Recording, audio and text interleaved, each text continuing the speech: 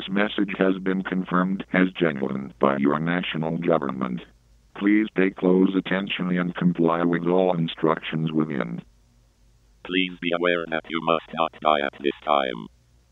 It is absolutely critical that you take steps to ensure your safety at this time.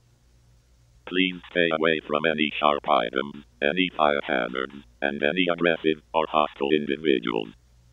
Please also block any windows or doors to your home with fabric, and cover any air conditioner. You must prevent airflow.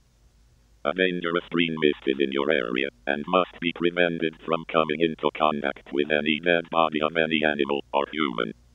You must not die, or allow any dead body to be exposed to open air. If any of this green mist is allowed to come into contact with a dead body, the consequences will be extreme. Whatever the circumstances, you must not take any action which would allow someone to be lethally harmed.